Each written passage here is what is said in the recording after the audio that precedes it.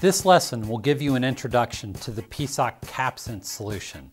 In its simplest form, CapSense is a replacement technology for mechanical buttons, but it can also be used to create sophisticated user interfaces with linear and radial sliders, touchpads, and even proximity sensing. PSOC implements CapSense with a component that helps you set up an interface without having to become an expert in the underlying technology.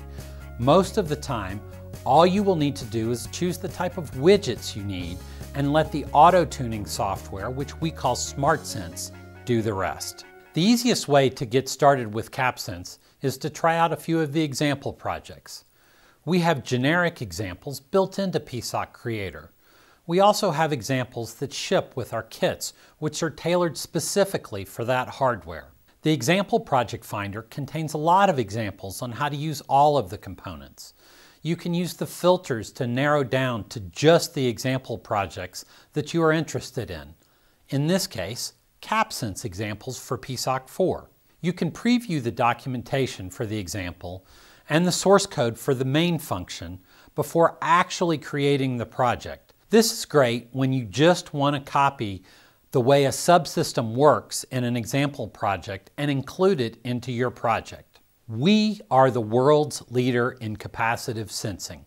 Hands down, no doubt. It's an easy and inexpensive way to implement CapSense buttons, and you'll see it on almost all of our kits. The Pioneer kit has a five elements linear slider for high precision control. If you have installed the Pioneer kit software, you'll see the demos in the Start page. If you haven't installed this software yet, you can find it on the kit web page. When you open the CapSense workspace from the example project browser, you'll see that it has a CapSense component and a PWM driving a pair of LEDs. This demo senses your finger position on the slider and changes the duty cycle of the PWM, which in turn changes the color of the LED. When you double click on the component, the configure dialog opens up and you can see immediately that we're using SmartSense tuning.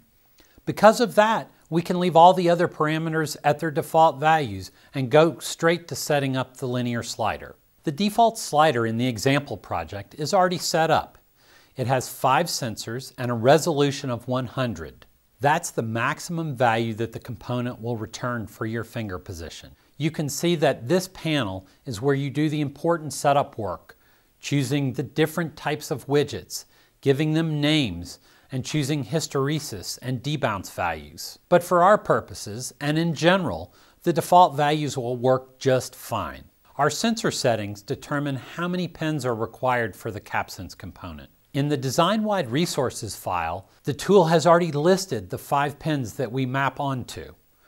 On the Pioneer kit, these are P11 through P15. There is also a CMOD pin, which should be connected to P42 and provides a modulation capacitance for the CapSense hardware. This capacitor has been described in detail in the component datasheet and in our application notes and is built in automatically on the PSOC 4 Pioneer board. In a fixed function MCU, you would have been required to control the sensing algorithms and determine the sensor activity from your application software. You're required to become an expert in capacitive sensing when all you really want to do is replace a few mechanical buttons or set up a slider. PSOC makes this much easier by generating the APIs that work for the configuration of widgets you chose in the configure dialog. Our APIs let you reset the baseline capacitance on your sensors, initiate scanning, and then get the values from the active widgets without worrying about the underlying technology that makes it all happen. All the scanning sequences, signal to noise ratio calculations, and active widget determination of widget activity, they're all handled in the APIs of PSOC.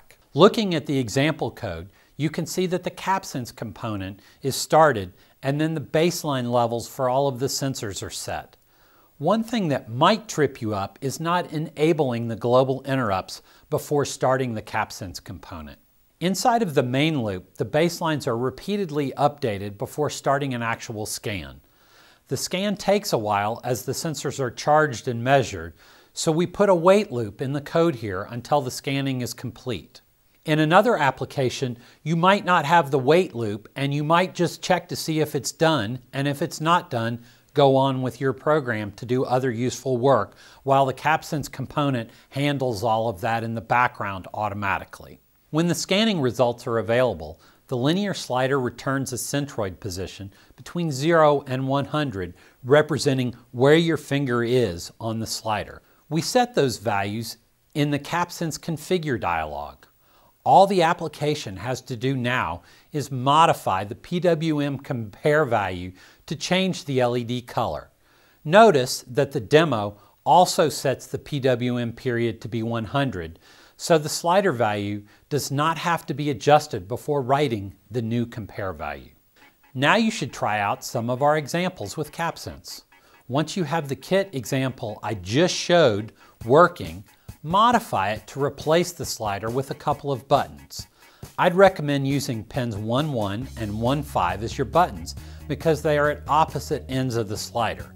You'll need to configure the component, choose those pins, and then update the firmware. I'll give you a hint to help out. The Get Centroid Pos API is for sliders, and you'll need to replace it with calls to check is widget active to use the sensors as buttons.